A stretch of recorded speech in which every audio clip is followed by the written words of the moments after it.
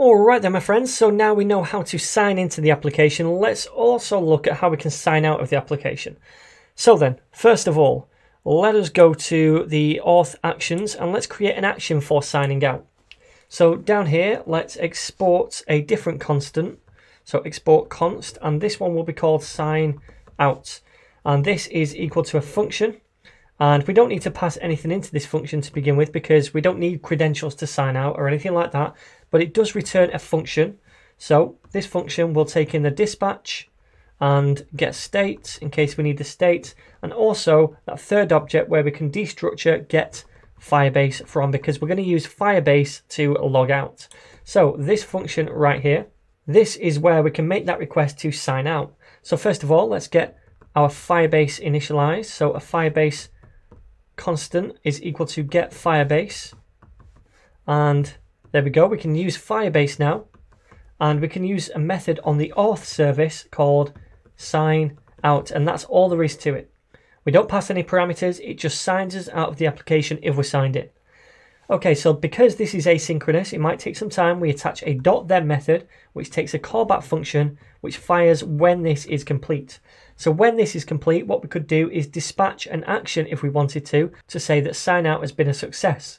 So dispatch and then the action will have a type of sign out, well not sign put, sign out, success. Okay, we don't need any additional data. There's nothing really to update here. So let's just do that. Okay then. So we've created right here this action creator. Now let's handle this action inside the auth reducer. So head on over to the auth reducer. Then we need to add to our switch case over here a case for sign out success. So underneath this one, Let's do another case. And this case will be sign out underscore success. And then this will log something to the console, first of all, console.log, and we'll just say sign out success, just so we know what's happening in the application when we're using it. This is just for our benefit as a developer. And then we're just going to return the state. We don't need to add anything or remove anything from the state. We'll just return it as is. Okay then. So let us now go over to our logout link, which is up here, so that when we click this, we actually want to fire this action creator over here so that we can log out. So we need to dispatch that from our navbar because that's where the link is to log out.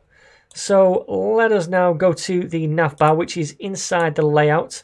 And it's not inside this navbar because this is not where the link is, but it's inside our signed in links.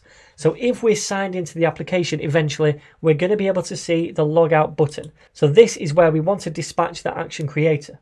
So first of all, let us import that action creator up at the top. And we also want to import connect so that we can connect to Redux. So import connect first of all, and that is going to be from React hyphen Redux. And we also want to import the action creator we just created. So import sign out from, and then it's dot dot forward slash to come out of the layout folder, and then dot dot forward slash to come out of the components folder, then into store, then into actions, and then into auth actions. All right then. So let's connect at the bottom, like so, and surround signed in links. You should be getting used to this by now.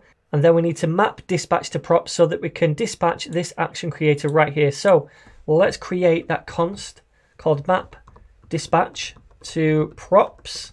And this is equal to a function. It takes the dispatch and then inside we return an object and attached to this object we want a sign out function. So that is going to be equal to a function which therefore dispatches a action creator, and that is going to be this one right here. Sign out. So let's call that. Now we need to pass this thing into this connect over here, and then we can access now this on the props of this component. Now remember, this is a functional component, so I can't just say this dot props. That doesn't work anymore. Instead, we need to take the props in to this component. Now I can say props dot sign out if I wanted to. Okay? Like that. But I don't just want to call it there. I only want to call it when someone clicks on this link right here. Now, we don't need a nav link because we're not going to anywhere else. So let's delete that and instead let's do an anchor tag. So A, and then we're going to attach an on click event to this. Let's close off that A tag as well. So when someone clicks this, what do I want to do? Well, that is the point. I want to associate this with props.sign out like so. We don't call it like so because that will automatically run the function when the component loads. We don't want to do that. We just want to associate this method with a click event on this anchor tag. So that should work now. When we click on this anchor tag, then it should fire this props.signout function, which dispatches this action creator. Inside the action creator, we sign out using firebase.auth.signout. Then we dispatch an action of type signout success. Then inside the auth reducer, if we get sign out success, we can see that logged to the console. So let's see if this works. So over here, I'm going to inspect. And if we go to the console, we should see over here that we still have a user inside Firebase. So you can see where it says auth, and we still have that user right here. That means we're logged in, okay? Now, if I click on log out, then we should we don't, we get an error. So let's see what's going on. Um, it says, if we go to the top here, dispatch is not a function.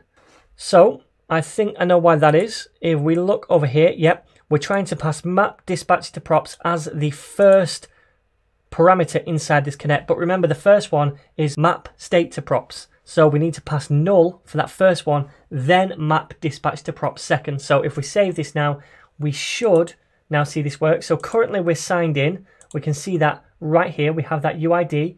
But if we now try to log out, then we can see sign out success. And if we take a look at the props now in Firebase, auth is empty is now true. So now we don't have a user. We have successfully logged out of the application. So that's us logging in and out of the application. But how about keeping track of this auth status and then showing links dependent on the auth status? We'll do that in the next video.